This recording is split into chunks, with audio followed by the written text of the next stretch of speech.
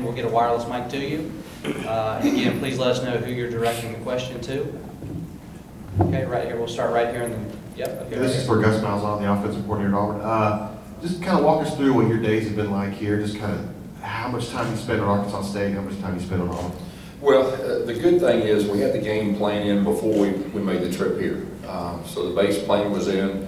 It has been extremely busy, you know, I've been focusing on Auburn in the mornings as far as getting ready for practice and practice, coming back after practice and grading.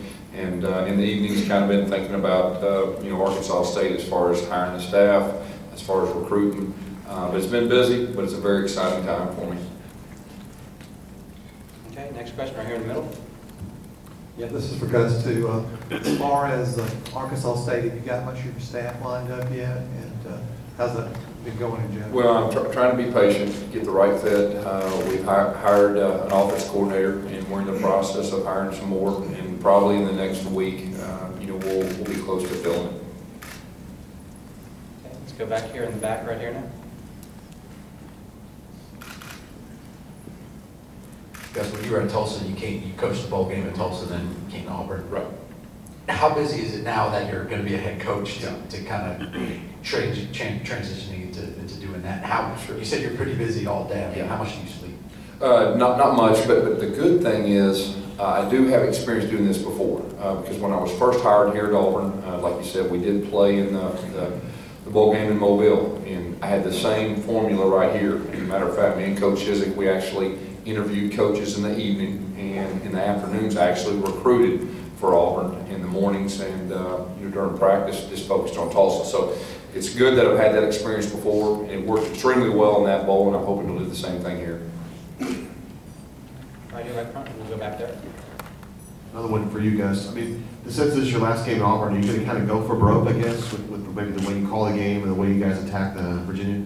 Well, I'll tell you this, I mean, it's been a great experience for me, uh, coaching here at Auburn, it's been a true blessing for me, uh, and definitely we want to go out on a high note, and, uh, and it could be more aggressive, um, you know, as far as play calling goes, I'm really excited, really want to give these guys the best chance of, uh, of winning, and, uh, you know, it's been a true blessing for me to co- coach the Emory Blakes and uh, Lutzenkirchens, the guys with the first class that we recruited, so uh, I'm really going to try to do my best job to help these guys be successful.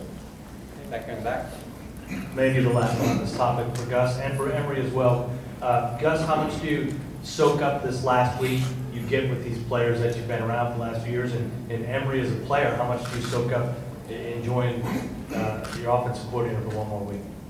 Gus, you want to go first, please? Yeah, uh, you know, I'm just trying to take it in, you know, I'm extremely close to our coaches and our players, and I'm trying not to get too emotional, you know, I'll wait till the very end to do that, but I'm really trying to just savor the moment. Like I said earlier, it's been such a blessing for me to be a part of the Auburn family, and, uh, you know, it'll just be one of those great memories I'll have for a long time. And this game right here, we'd like to end it on a positive note, so it'll be really one of those special experiences. Cameron? Um, definitely gonna miss Coach Malzahn. You know, he recruited me, and uh, I mean, really, he, he told me everything we would do, and we accomplished that. I mean, he told me a lot of people know who I am, and we won a national championship, and everything he promised me we accomplished. So um, I'm very proud to be coached by him, and definitely gonna miss him. Okay, we'll go right here in front. Gus, this is really the only sport, college football, where you have this kind of situation, straddling, you know, two different jobs and, and having been through it already and now going through the second time. Is there, is there a better way to do it? Um, and and is there any awkwardness, you know, as you try to get back into Auburn? Um, eh, I guess it's two different issues, but if you would, wouldn't mind addressing both of those. Yeah, well, the first thing I always think about is what's best for the players. It's not about coaches, it's what's best for the players. And, you know, I was just thankful that Coach Chizik gave me the opportunity to finish this thing right and uh, to coach these guys throughout the, the bowl season. And I was thankful that Arkansas State gave me the opportunity uh, to do both. It is a very challenging thing to do, but I think you always got to think about what is best for the kids and what is best for the players. Is there, is there a way to, is there a better way to do it? Uh, College football is an interesting profession. You know, I'm a high school football coach, and I've only been doing this for six years, but that is the, the uh, thing that's unfortunate probably about this business is there are a lot of coaches that move on and, and uh, a lot of players that don't have coaches that were with them throughout the year, so that's a tough deal.